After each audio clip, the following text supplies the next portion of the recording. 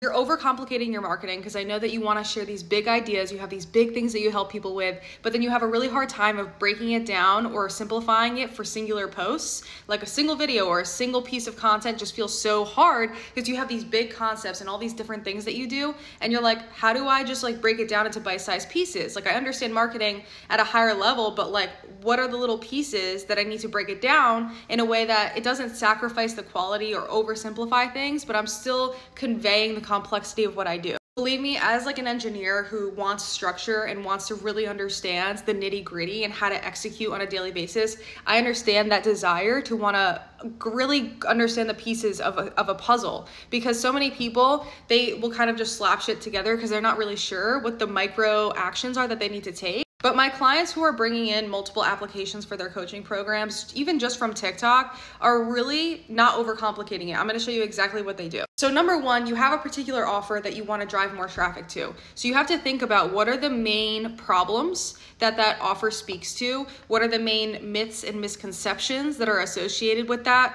What are the symptoms of that problem? And then what are the solutions, transformations, goals associated with it? So you'll have this like giant list. And so when you go through that giant list, I really want you to make sure that they're not fluffy, get really specific. Instead of like they want to make more money and they're struggling to make more money, say they post a singular piece of content if they feel like it's oversimplified or they're trying to say too much in a singular video.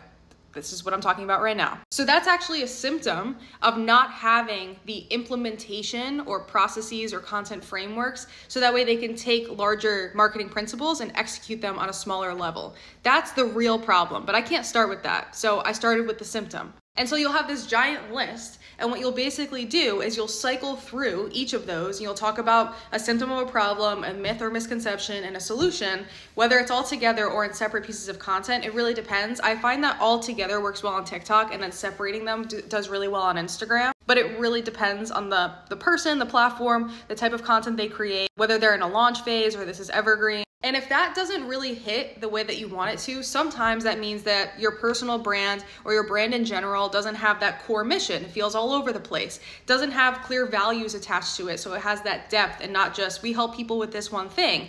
Doesn't have clear differentiators. So you stand out and you're not just being compared to or competing with other brands in the market. Another piece is just not understanding the ideal client, or there's a disconnect between your marketing and your offer. So your sales are not really working because people are confused and so they're not buying. So there's a lot of things that can influence this, but at a really basic level, that's how you need to approach your marketing. And then if you see that that's not really working, after after a while, you have to be consistent. Then you can evaluate and do market research, evaluate your sales process, see what the engagement is like, look at the data, and try to use that as feedback from your marketing to influence your brand, your sales, and your offer.